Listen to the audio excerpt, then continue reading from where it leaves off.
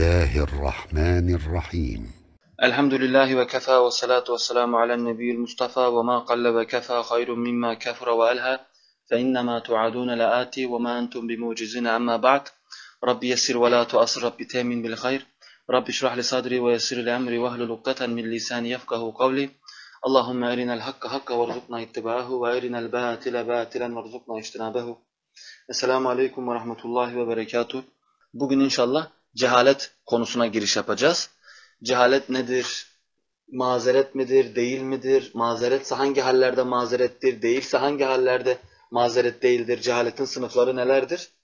Bunu inşallah işleyeceğiz. Bugün de cehaletin giriş konusunu ele alacağız. Cehalet meselesine de giriş yapacağız. Ancak cehalet konusuna giriş yapmadan önce bugünkü dersi ve bundan sonraki bütün dersleri şu e, ölçüyü illet alarak takip edin inşallah. Yani hani elek vardır ya elek. Mesela e, inşaatçılar ne yaparlar? Şöyle bir eskiler gerçi şimdikiler yapın bilmiyorum da şöyle büyük bir elek koyarlar. Kumu o eleğe doğru atarlar. İnce kum aşağıda kalır, kalın kum yukarıda kalır. Veya e, eskiden tandur yaparlarken görüyorduk değil mi? Tandurda böyle unu elerlerdi böyle. Unun ince tarafı aşağı düşerdi, kalın tarafı yukarıda kalırdı. İşte bizim de cehalet konusundaki eleğimiz şu olacak arkadaşlar. Biz bugün asr-ı saadette yaşamıyoruz. Biz ahir zamanda yaşıyoruz. Bizim yaşadığımız zaman öyle bir e, zaman ki Peygamber aleyhisselam bu zamana dair birçok hadis aktarmıştır ve bize birçok hadisle bu zamandan haber vermiştir. Resulullah aleyhissalatü vesselam buyuruyor ki Bede'el İslamu gariben İslam garip başlamıştır. Feseyaudu garibe. Başladığı gibi garip bitecektir. Fetubelül guraba, fetubelül guraba. Gariplere selam olsun, gariplere selam olsun. Sahabe diyor ki, bunlar kimdir ya Resulallah? Resulullah Aleyhisselatü Vesselam diyor ki, bunlar insanları ıslah eder ve unutulmuş sünnetleri ihya ederler. Şimdi İbn Abbas bu hadis hakkında diyor ki, garip yani guraba Arapçada sayıca az demektir. İslam hakikaten sayıca az başlamıştır. Peygamber Efendimizin davetinin ilk yılları boyunca sadece dört kişi Müslümandı. Sadece dört kişi. Buhari rivayet ediyor. Diyor ki birincisi ilk Müslüman olan kişi Hatice bin Hüveylid, Hatice annemiz.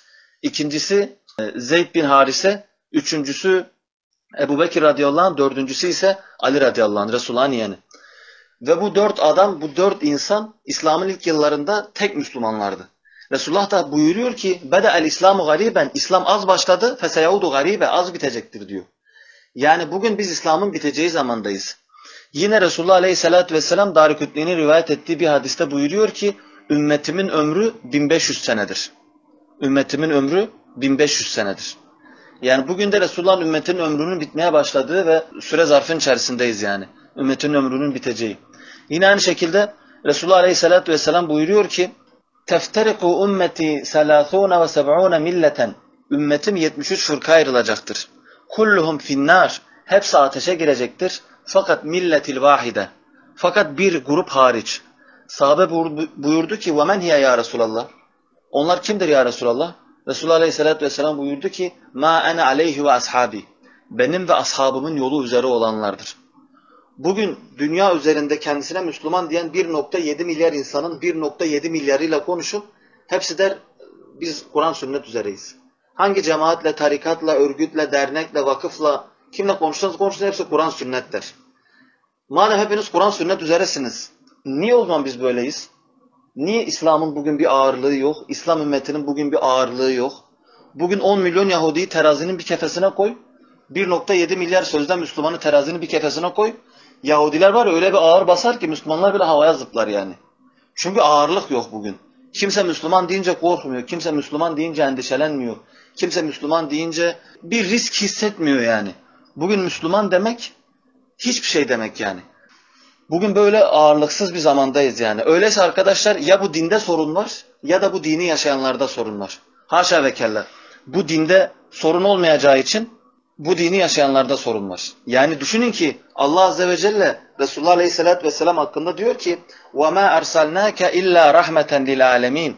Biz seni alemlere rahmet olarak gönderdik. Allah'ın alemlere rahmet olarak gönderdiği adam yıllarca davet yapmış, dört kişi Müslüman olmuş. Öyle değil mi? Ondan sonra 80 küsür kişi oldular. Sonra Resulullah dedi ki Habeşistan'a gidin. Ondan sonra yine davet yaptılar. 300 küsür kişi oldular. Resulullah dedi ki hadi Mekke, hadi Mekke'den çıkıyoruz Medine'ye gidiyoruz. Önce herkesi gönderdi en son kendi gitti Medine'ye. Medine'de yıllarca mücadele etti, yıllarca mücadele etti. 630 senesinde vefat etmeden iki sene evvel Mekke'yi fethedebildi ancak. Ve bu adam vefat ettiğinde aleyhissalatü vesselam kendisinin kontrolündeki yer sayısı Mekke ve Medine'den ibaretti. Büyük fetihler gerçekleştiremedi. وَمَا اَرْسَلْنَاكَ اِلَّا رَحْمَةً لِلْعَالَمِينَ denilen bir adamdan bahsediyoruz. Dolayısıyla yaşadığımız zamanı sanki asr-ı saadetmiş gibi ele almayalım lütfen. Biz ahir zamanda yaşıyoruz. Resulullah Aleyhisselatü Vesselam ne buyuruyor? Buhari'nin rivayet ettiği bir hadiste ahir zamanda sizin içinizdeki Müslümanların sayısı siyah bir öküzün sırtındaki beyaz tüylerin sayısı kadardır. Yani çok azdır. Subhanallah yani. Bunu göz önünde bulundurun inşallah. Yine aynı şekilde Resulullah Aleyhisselatü Vesselam Ebu Davud'un rivayet ettiği bir hadiste buyuruyor ki ahir zamanda 700 bin kötü alim çıkar. Yani 700 bin saptırıcı imam çıkar. Yani 700 bin belam çıkar diyor Resulullah Aleyhisselatü Vesselam. Bugün baktığınız zaman görüyorsunuz ki herkes kendisine Müslüman diyor. Bugün baktığınız zaman e, herkes alim maşallah piyasa alimden geçilmiyor. Herkes bir, bir şeyler konuşuyor. Lakin insanlara hakkı anlatan hakikaten bir elin parmaklarını bile geçmiyor.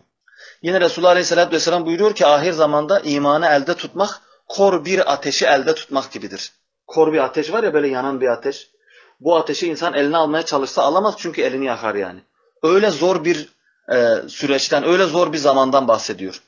Yine aynı şekilde başka bir hadiste kişi evinden Müslüman çıkacak, evine kafir girecek. Aynı şekilde evinden kafir çıkacak, evine Müslüman girecek diyor. Bugün hakikaten de adam evine geliyor mesela akşam, bacağını uzatıyor, açıyor televizyonu. Dinle alay ediyorlar, İslam'la alay ediyorlar, dinin şiarlarıyla alay ediyorlar, Allah'la alay ediyorlar. Adam da bunu izliyor, gülüyor mesela. Ne oldu? İşleyen de işleten de dinden çıktı. Veya aynı şekilde tam tersi adam evinden kafir çıkıyor, iş yerinde bir tane tevhid ehli Müslümanla karşılaşıyor. Müslüman diyor abi tağutu reddet, adam diyor tamam reddettim diyor. Akşam evine gelirken tağutu reddetmiş biri olarak geliyor. Yani tam da bu hadisin bahsedildiği zamandayız yani. Yine aynı şekilde Resulullah buyuruyor ki aleyhissalatü vesselam ahir zamanda Allah'ı inkar edenlerin sayısı artacak. Yani kimden bahsediyor? Ateistlerden. Ahir zamanda Allah'ı inkar edenlerin sayısı artacak. Bugün baktığın zaman daha bundan 10 sene öncesine kadar, 15 sene öncesine kadar biri ateistim demeye korkuyordu. Bugün adamların televizyon kanalları var. Bugün adamların dernekleri var. YouTube'da milyonluk takipçilik alanları var. Ne yazık ki bugün böyle bir İslam böyle bir garip hale gelmiş.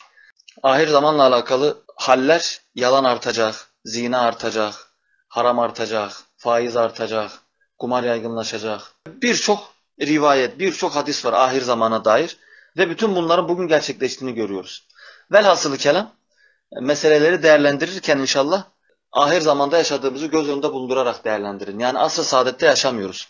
Adama ben din anlatıyorum. Diyorum ki abi diyorum tevhid budur, tağut budur. Reddetmen lazım. Reddetmezsen hayatındaki şirklerden kurtulmazsan Müslüman olamazsın. Sen nasıl böyle diyorsun? Nasıl birine kafir diyorsun? Bilmem ne hepimiz Müslümanız. Herkes Müslüman. Herkes Müslüman maşallah biz peygamberin zamanında mı yaşıyoruz? Biz asr-ı saadette mi yaşıyoruz yani? Subhanallah. Yani bugün öyle bir haldeyiz ki bugüne ahir zaman demeyen adamın zekasında problem vardır yani kesinlikle.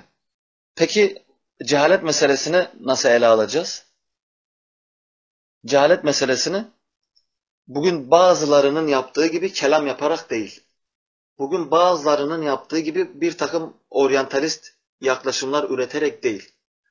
Bugün bazılarının yaptığı gibi hevamızdan, hevesimizden boş boş konuşarak değil. Bugün insanlara bu meseleyi anlatırken sizlere de aynı şekilde bu meseleyi anlatırken Kur'an ve sünnet ışığında anlatacağız. Mesela Allah Azze ve Celle Kur'an'da bize birçok kavimden bahsediyor değil mi? Ad kavminden, Semud kavminden, Tubba kavminden, Eyke kavminden, Musa'nın kavminden, İbrahim'in kavminden, Lut'un kavminden bir sürü kavimden bahsediyor helak ettiği. Ve Allah Azze ve Celle bunların hiçbirinin cehaletini mazur saymadı. Allah bunları helak ederken kadınını, çoluğunu, çocuğunun, yaşlısını, gencini, hepsini birden, kralını, askerini, hepsini birden helak etti. Doğru mu? Allah Azze ve Celle İbrahim'in kavminde cehaleti mazeret görmedi. Nuh'un kavminde cehaleti mazeret görmedi. Salih'in kavminde, Hud'un kavminde, Lut'un kavminde ve birçok peygamberin kavimlerinde cehaleti mazeret görmedi. Allah Azze ve Celle bugün teknolojinin bu kadar yaygınlaştığı, internetin bu kadar yaygınlaştığı, imkanların bu kadar fazlalaştığı bir zamanda Allah diyecek ki ya siz cahilsiniz hadi cennete. Haşa ve kella. Hiç şüphesiz bu en başta Allah'a iftiradır. Bu neden iftiradır? Çünkü biz demiş oluruz ki eğer bugünkülerin cehaleti mazeretse o zaman Allah Salih'in kavmine haksızlık etti. Firavun'a haksızlık etti. Nuh kavmine haksızlık etti. Lut kavmine haksızlık etti demiş oluruz.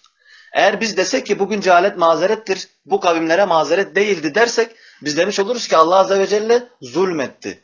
Semud kavmindeki çocukları boş yere helak etti. Nuh'un kavmindeki kadınları, yaşlıları boş yere helak etti demiş oluruz. Haşa Allah'a zulüm yaraşır mı? Allah'a adaletsizlik yaraşır mı? Haşa ve kella. Allah bu tip iftiralardan müstahnidir. Öyleyse Allah Azze ve Celle katında meseleleri değerlendirirken dün neyse bugün de o babından değerlendireceğiz. Dünkü Allah bugün de Allah'tır. Dünkü hak bugünkü haktır. Dünkü Kur'an bugünkü Kur'an'dır. Ve meseleleri bu şekilde değerlendireceğiz. Şunu da unutmayacağız ki insan ben Müslüman oldum, ben iman ettim demekle Müslüman olmuyor arkadaşlar. Bugün sokağa çıkalım sizle beraber. Hatta İslam coğrafyasını turlayalım. Yani en doğudaki Patani'ye, en batıdaki Senegal'e, en güneydeki Somali'ye, en kuzeydeki Tataristan'a gidelim hep beraber Göreceğiz ki bu coğrafyadaki herkes ben Müslümanım diyor. İşlerinden kalan varsa yüzde üç, yüzde beş, yüzde on ancak namaz kılıyordur. Onun dışındakilerin Müslümanlığı sadece laf. Elhamdülillah Müslüman. Bize söylerken böyle ellerini kalplerine götürüyorlar. Elhamdülillah Müslümanım da tamam. Cennetlik. Bedeviler Resulullah Aleyhisselatü Vesselam'a geldiler. Bu Kur'an'da geçer Hucurat Suresi 14. ayette. Dediler ki قَالَتِ الْاَعْرَابُ آمَنَّا Bedeviler dediler ki iman ettik. Kul onlara de ki lem tu'minu iman ettik demeyin. Velakin kulu eslemna ancak deyin ki teslim olduk. Felemma yedhulul imanu fi kulubikum çünkü iman henüz kalplerinize girmedi. Bakın Bedeviler Resulullah Aleyhisselatü Vesselam'a geliyorlar. Diyorlar ki kelime-i şehadet getiriyorlar. Diyorlar amenna. Biz iman ettik. Yani biz mümin olduk diyorlar. Müslüman olduk diyorlar. Allah Azze ve Celle diyor ki hemen ayette cevap veriyor. Diyor kul lem tu'minu. İman ettik demeyin. Velakin kule eslemne. Fakat bunun yerine deyin ki teslim olduk. Felemme yedhul imanu fi kulubikum. Çünkü iman henüz kalplerinize girmedi diyor. Bedeviler durur mu? Durmaz. Bedeviler ısrar etmeye devam ediyorlar. Diyorlar ki yok ya Muhammed biz iman ettik. Olur mu? Biz kelime-i şehadet getirdik, Müslüman olduk diyorlar. Bundan sonra Hucurat suresinin 16. ayeti nazil oluyor. Allah Azze ve Celle bu ayette buyuruyor ki din konusunu Allah'a mı öğretiyorsunuz diyor Allah Azze ve Celle. Allah iman etmediniz diyorsa etmediniz bitti yani. Bir insanın iman ettim diyebilmesi için iman ettiği şeyi bilmesi lazım. Tevhidi bileceksin, tağutu bileceksin, şirki bileceksin, küfrü bileceksin. Öyle değil mi? Zaruri bilgileri bileceksin. Bir Müslümanın alim olmasına gerek yok.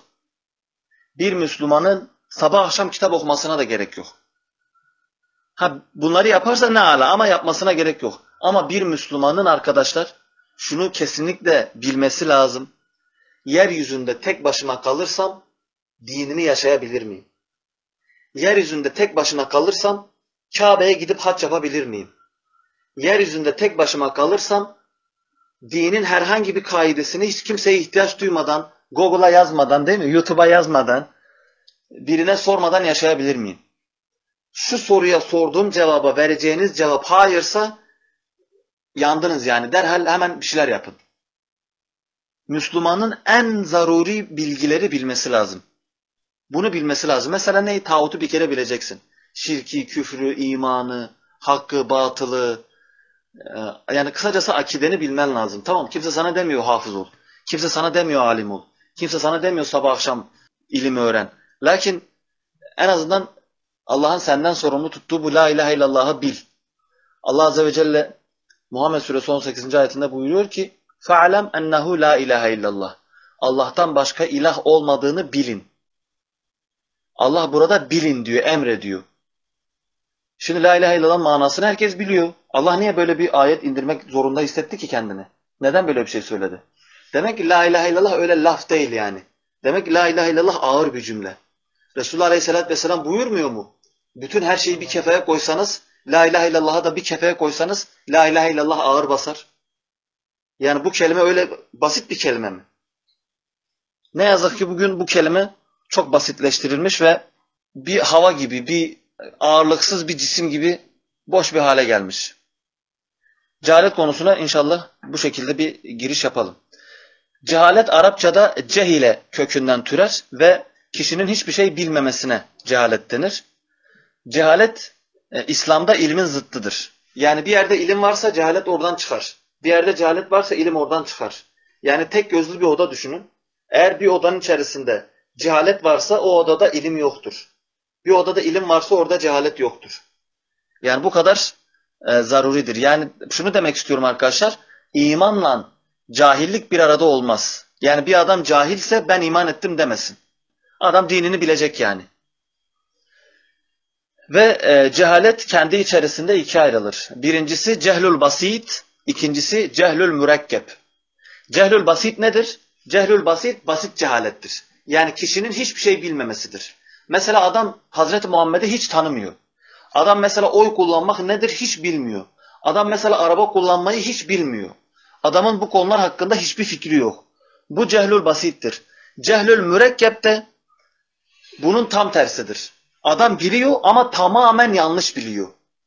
Cehlül mürekkep yani mürekkep cahillik. Yani tersine çevrilmiş cahillik.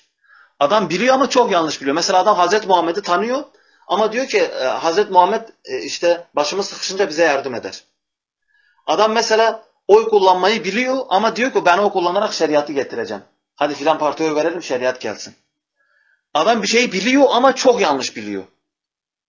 İşte bu e, çok yanlış bilme fiili de yani tam tersi şeklinde bilme fiili de cehlül mürekkeptir. Ve İslam'da cehaletin illetleri vardır arkadaşlar. Yani bir adam cahil mi değil mi? Bunu bilebilmemiz için cehaletin illetleri, bazı şartları vardır. Bu şartlar nedir? Bu şartlar şunlardır. Birincisi mükellef olması lazım. İkincisi ikrah altında olmaması lazım. Mükellef olabilmesi için mükellef teklif ehli demektir. Teklif ehli. Yani Allah'ın sırtına bir sorumluluk yüklediği adam. Kişinin mükellef olabilmesi için de arkadaşlar bazı şartlar gerekir. Mesela ne? Ergenlik çağına girmesi gerekir. Yani erkek veya kadın olması gerekir. Mesela ne? Akıl vali olması gerekir. Yani deli veya böyle tutuk zekalı olmaması gerekir. Üçüncüsü ne? Üçüncüsü bu insanın cezai ehliyetinin olması gerekir. Yani cezai ehliyetten kasıt hukuki bir terim olarak ele almayın. Cezai ehliyetten kasıt şudur. Adamın mesela bütün vücudu sağlamdır. Hepsi sağlamdır. Allah katında bu adamın mazeretli olması için bir şey söyleyelim mesela. Adam hem kördür hem sağırdır. Şimdi sen hem kör hem sağır bir adama tevhidi nasıl anlatacaksın? Kör ve sağır bu adam. Hadi tağutu anlat hadi. Bu adam ceza ehliyeti var mı İslam'da? Yok. Hukukta var. Hukukta bu adam gitse birini öldürse hapse atarlar. Lakin dinde yok. E çünkü yani çalışmıyor yani adamın kulağı ve gözü yok. Ne diyeceksin adama? Şöyle dokunarak mı tağutu anlatacaksın yani? Subhanallah. İkinci şart dedik mükellef olunabilmesi için kişinin e, cehalet konusunda bakalım bu adam cahil mi değil mi, Müslüman mı, müşrik mi diye ele alacağız ya bu adamı. Bu adam mükellef olması lazım dedik. Birincisi dedik ki bu adamın e, ehliyet sahibi olması lazım. Yani bunun için de ne gerekir dedik? Bunun için de akıl sahibi olması lazım, ergen çağına girmesi lazım ve ceza ehliyetinin olması lazım dedik. İkinci sınıf arkadaşlar ikrah altında olmaması dedik. Bir adam ikrah altındaysa bu adam istediğini yapsın bu adama kafir denemez arkadaşlar. Peki bunun delili nedir? Bunun delili Nahl suresinin 106. ayetidir. Allah azze ve celle Nahl suresi 106. ayette buyuruyor ki kim iman ettikten sonra kafir olursa ikrah altında olanlar hariç kim kalbini küfre açarsa Allah ona azap edecektir. Hem de şiddetli bir azap edecektir. Burada da görüldüğü üzere Allah azze ve celle ikrah altında olanın küfre girmesine cevaz veriyor. Yine aynı şekilde Allah Azze ve Celle Ali İmran suresi 28. ayette takiye yapmamıza izin vererek buyuruyor ki La yettehuzul mü'minûnel kafirine evliya min dûnul mü'minûn. Müminler müminleri bırakıp kafirler gibi olmasın, onlar gibi konuşmasın, onlar gibi davranmasın. Ve men yef'al zâlike kim böyle yaparsa feleyse minallahu fi şeyin. Allah'la arasındaki bütün ipler kopmuştur. İlla en tettekû minhum tukat. Ancak onlardan korkup kendinizi korumanız hariç. Ve yuhazirukumullahu nefseh. Allah sizi uyarıyor ve ilallahil mesir. Çünkü ona döneceksiniz. Burada da gördüğü üzere Allah Azze ve Celle kafirlerden korkulduğunda kişinin kendisini korumasına, takiye yapmasına cevaz veriyor. Yine aynı şekilde Ammar bin Yasir işkence altındayken Resulullah Aleyhisselatü Vesselam'a küfür ediyor, sövüyor. E, buna binaen ne oluyor? Müşrikler onu serbest bırakıyor. O da geliyor diyor ki ya Resulullah ben helak oldum. Ammar helak oldu. Resulullah diyor neden böyle söyledin? Ammar bin Yasir diyor ki ben sana küfür ettim. Resulullah diyor ki ey Ammar kalbin ne hal üzere? Yani kalbinden ne haber? Resulullah Aleyhisselatü Vesselam'a Ammar diyor ki ya Resulullah kalbim imanla dolu. Resulullah diyor ki eğer öyleyse bir daha yaparlarsa bir daha söyle. Yani o zaman Ammar bin Yasir de mi haşa kafir? Değil. Yani kişi ikra altındaysa arkadaşlar puta bile tapsa bizim alimlerimiz ona ne yapmış? Ona herhangi bir şekilde tekfir etmemiş. Yine İmam Ahmet bin Hanbel döneminden mesela bir örnek verelim. İmam Ahmet bin Hanbel döneminde bütün alimleri topladılar. Dediler ki Kur'an mahluktur demeyeni hapse atacağız, diyeni serbest bırakacağız. Yahya bin Mayin gibi büyük bir alim bile ki Yahya bin Mayin şu an ümmetin belki gelmiş geçmiş en büyük hadis alimlerindendir. Dedi ki Kur'an mahluktur. Dediler Yahya bin Mayin'i bırakın. Düşünün yani. Ancak mesela Muhammed bin Nuh Muhammed bin Nuh Kur'an mahluk değil şey Kur'an mahluk değildir dedi. Muhammed bin Nuh'u şehit ettiler. İmam Ahmet dedi Kur'an mahluk değildir. Yıllarca hapiste yattı. İmam Şafii'nin talebesi İbnül Huzai Kur'an mahluk değildir dedi. Adamı cezaevinde öldürdüler. E alimler hiçbirine kafir demedi yani. E siz kafirsiniz falan bir tek biz Müslümanız. Kimse böyle bir şey söylemedi. Devam edelim inşallah. Bir de hani az önce mükellef olmanın şartlarını söyledik. Bir de mükellef olmamanın şartları vardır. Yani arkadaşlar öyle haller vardır ki insan bu hallerde mükellef değildir. Yani Allah onun sırtına bir yük yüklememiştir. Mesela normalde zina eden adam ne yapılır? Cezalandırılır değil mi? Ancak rüyasında zina edeni siz cezalandıran bir şey duydunuz mu? Yok. Normalde hırsızın hükmü nedir mesela? Ceza verirsin adama. E, rüyasında hırsızlık yapana ceza veren gördünüz mü? Görmediniz. İşte mükellef olmak için de, mükellef olmamak için de şartlar vardır. Nasıl mükellef olmak için ergenlik şartı, akıl vali şartı, e, cezai ehliyet şartı varsa mükellef olmamak için de şartlar vardır. Bunlar da nedir arkadaşlar? Bunlar da iki tanedir. Birincisi avarudu semaviye yani e, doğuştan gelen arızalar. Avarit arızanın çoğuludur. Semaviye de doğuştan gelen yani gökten gelen arızalar. İkincisi de avarudul muhtesebe yani sonradan kazanılan arızalar. Mesela avarudu semaviyeye bir örnek verelim. Doğuştan gelen dedik. Mesela deli olmak. Adam mesela deli. Bu adam isterse gitsin puta tapsın. Yani bu adama sen bir şey anlatamazsın. Ya amcacığım puta tapma diyemezsin. Adam deli yani deli. Bu adama sen ne anlatacaksın? Birincisi mesela deli olmak. İkincisi mesela uyuma hali. Az önce söyledik. Üçüncüsü mesela bebek olması. Mesela 3 yaşında bebek var gitti mesela haçı aldı öptü. Sen şunu çocuğa kafir mi diyeceksin? Bebek bebek yani daha o kendini bile bilmiyor yani kendini bile tanımıyor yani. Sokakta bıraksan evini bulamaz yani. Ki tevhid ehli içerisinde var bazılar çocuklar kafirdir diyenler ne yazık ki. Bir de avarudül muhtesebe var. Yani kişinin kendi eliyle sonradan kazandığı arızalar. Mesela nedir bunlar? Adam içiyor içiyor sarhoş oluyor mesela. Sarhoşken akıl ondan gidiyor. Söylediği hiçbir söz geçerli değildir. Mesela karısını boşasın geçerli değil. Çünkü sarhoş yani aklı yok o an. Akıl vali değil yani aklı yok. Aklı o an onda değil. Yine mesela bir örnek verelim. Fetret ehli olması. Fetret ehli nedir? Resulullah'la Hazreti İsa arasında yaşayanlar. Yani o 500 yıllık zaman var ya o arada yaşayanlar. Alimler bunlara fetret ehli demişler. Peygamber yok. Nasıl olacak o iş? Fetret ehliler. Yine başka bir örnek verelim mesela. Mesela uyur gezer bir adam e, rüyasında değil de hakikatte diyelim birini öldürdü. Rüyasında öldürünce anladık. Uyur gezer adam birini öldürdü veya diyelim bir küfür sözü söyledi.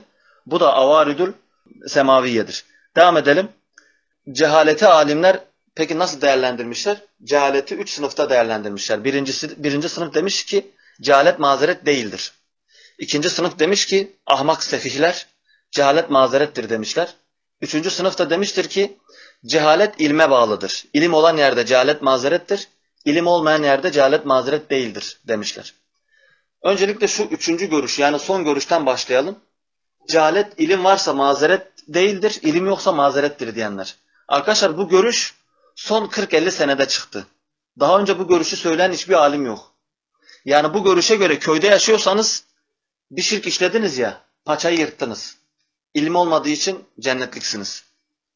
Yani işlediğiniz küfür sizi kafir yapmaz çünkü cahilsiniz. Şehir merkezinde mi yaşıyorsunuz? Yandınız. Çünkü ilim var ve şirk işlediniz, yandınız. Bu kadar saçma yani. Yani bugün köy ve şehir ayrımı var mı? Lütfen samimi olalım. Şehirde de internet var, köyde de internet var. Şehirde de telefon var, köyde de telefon var. Şehirde de uydu var, köyde de uydu var. Şehirde de insan aynı insan, köyde de aynı insan. Yani eski zamandaki gibi bilmem Kaf Dağı'nın tepesinde bir köy var, o köyde hiç kimse yaşamıyor ve ne bileyim üç tane adam yaşıyor dünyadan haberi yok falan. Böylesi bugün yoktur yani. Varsa bile Afrika'nın balta girmemiş ormanlarında vardır yani. Ve ne bileyim okyanusta hiç bilinmeyen, hiç keşfedilmeyen bir adada yaşayan bir grup insan. Yoktur da hani mesela diyoruz. Bu görüş bizim memleketimiz gibi, Avrupa gibi, Orta Doğu gibi, Asya gibi, Amerika gibi, Kuzey Afrika gibi, Orta Afrika, Güney Afrika gibi yerlerde bu söz geçerli değil yani. Böyle bir şey olamaz. İkinci görüş, cehalet mazeret değil diyenlerin görüşüdür. Bunlar da bizim görüşümüzdür. Cehaletin mazeret olmadığını söyleyenlerin görüşü. Ee, örneğin Rabbimiz Subhanahu ve Teala İsra suresinde 15. ayette buyuruyor ki biz peygamber göndermedikçe kimseye azap etmeyiz. Buradan biz ne anlıyoruz arkadaşlar? Buradan biz anlıyoruz ki Allah Subhanahu ve Teala bir, bir kavme peygamber göndermedikçe azap etmem diyor. Peki soruyoruz. Resulullah Aleyhisselatü Vesselam geldi mi? Geldi. O zaman iş bitti arkadaşlar. Resulullah'tan sonra hiçbir kavmin mazereti yoktur. Dini bulup bulmaması onların sorunu, Allah'ın sorunu değil. Allah peygamber göndermiş. Bu da yetmemiş, Allah bir de kitap göndermiş peşinde. Allah Azze ve Celle daha ne yapsın yani? Yine başka bir örnek verelim mesela. Yasin suresi 6. ve 7. ayette Allah Azze ve Celle buyuruyor ki لِتُنْذِرَ قَوْمًا مَا اُنْزِرَ آبَاؤُهُمْ فَهُمْ غَافِلُونَ Allah diyor ki sen babaları uyarılmamış gafil bir kavme gönderildin. Bakın dikkat edin. Allah Azze ve Celle Mekkeli müşriklerin babalarına uyarılmadığını söylüyor. Babaları uyarılmamış bir kavme gittin diyor. Ama buna rağmen Allah bu kavme ne diyor? Gafil. Allah cahil demiyor bu kavme. Gafil bir kavim diyor. Allah Azze ve Celle yine aynı şekilde Beyine suresinde, Beyine suresi 1. ayette buyuruyor ki لَمْ يَكُنِ الَّذ۪ينَ كَفَرُوا مِنْ اَهْلِ الْكِتَابِ وَالْمُشْرِك۪ينَ مُنْفَك۪ينَ hatta تَأْتِيَهُمُ الْبَيِّنَ Allah subhanahu ve teala bu ayette buyuruyor ki ehli kitaptan ve müşriklerden kafir olanlar kendilerine apaçık deliller gelinceye kadar küfürden ayrılacak değillerdi. Bak yani Allah Azze ve Celle apaçık delil, Kur'an ve peygamber gelmeden önce bile onlara küfürden ayrılacak değillerdi diyor. Yani ehli kitaba ve Mekkeli müşriklere Allah kafir diyor. Peygamber ve kitap gelmemesine rağmen. Allah Azze ve Celle cehaleti mazeret görmüyor, tam tersine cehaleti suç olarak görüyor. Yine aynı şekilde Neml suresi 43. ayette Allah Azze ve Celle buyuruyor ki inneha kânet min kavmin kafirin. Allah Sebe kavmi hakkında onlar kafir bir kavimdir diyor. Yani Allah Azze ve Celle Sebe kavmine e, daha Süleyman Aleyhisselam peygamber olarak gitmeden, peygamber olarak davetçi göndermeden Allah onlara kafir bir kavim ismini veriyor. Yine Allah Azze ve Celle Taha suresinde e, Musa Aleyhisselam'a diyor ki sen ve kardeşin Firavun'a gidin o tağut olmuştur. Bak sen ve kardeşin Firavun'a gidin o tağut olmuştur. Bak daha gitmemişler ha. Daha Firavun'la konuşmamışlar. Allah Firavun'a ne diyor? Tağut. Bir dur bir gitsinler bir konuşsunlar. Belki Müslüman olacak. Yok. Allah tağut diyor. Daha gitmeden. Neden? Çünkü cehalet mazeret değil. Allah katında bilmemek gibi bir mazeret olamaz yani. Allah Azze ve Celle katında. Yine aynı şekilde Allah Nisa suresi 48. ayette buyuruyor ki İnna Allah la yaghfiru en yushrake bih. Allah şirki asla bağışlamaz. Yaghfiru ma dune zalike limen yasha. Bunun dışında istediği bütün günahları bağışlar. Men yushrik billahi fakat iftara ismen azime. Kim Allah'a şirk koşarsa o Allah'a en büyük iftirayı atmıştır. Bakın ayetin başına dikkat ettiniz mi? Allah Azze ve Celle kesin bir söz söyledi. La yaghfiru en yushrake bih. Allah şirki asla affetmez. Asla bak. Asla. Cahil seni affeder falan. Allah böyle demiyor. Yine Allah Nisa suresi 116. ayette aynı kelimelerle diyor ki la yaghfiru en yushrake bih. Allah şirki asla affetmez. Yaghfiru ma dune zalike limen yasha. Bunun dışında istediğini affeder. Yani Müslümanlardan günahkarları isterse affeder. Ve men yushrik billahi kim Allah'a şirk koşarsa fakat dalle dalalen ba'ide. En büyük sapık odur diyor Allah azze ve celle. Kendisine şirk koşana. Allah şöyle demiyor. Ve men yushrik billahi kim Allah'a şirk koşarsa fakat cahilun. Cahildir demiyor Allah. Fakat dalle dalalen ba'ide. O en büyük sapıktır diyor Allah azze ve celle. Yine Allah Maide suresi 72. ayette buyuruyor ki innehu men yushrik billahi fakat harramallahu aleyhil cennet. Kim Allah'a şirk koşarsa Allah ona cenneti haram kılar. Ve me'vahun nar onu cehenneme koyar ve ma zalimine min ensar. Onun, o zalimlere hiç kimse de yardımcı olamaz diyor Allah azze ve celle. Yani Allah şöyle demiyor. İnnehu men yushrik billahi kim Allah'a şirk koşarsa cahiller hariç harramallahu aleyhil cennet. Allah onları cennete almaz. Allah böyle demiyor yani. Allah direkt kim şirk koşarsa cehennemliktir diyor. Bitti. Niye? Peygamber göndermiş. Kitap göndermiş. Akıl nimetini vermiş. İbrahim Aleyhisselam Allah'ı nasıl buldu? İbrahim Aleyhisselam'ın bir peygamberi mi vardı? İbrahim Aleyhisselam'ın bir kitabı mı vardı? Yok. Allah'ı arayarak buldu. Gö göğe baktı, güneşe baktı, aya baktı, yıldızlara baktı. Öyle buldu Allah. Allah akıl nimeti vermiş. Dedik peygamber göndermiş dedik. Kur'an göndermiş dedik. Fıtratlarımıza tevhidi yüklemiş. Öyle değil mi? Allah Azze ve Celle ne diyor? Elestu bir rabbikum.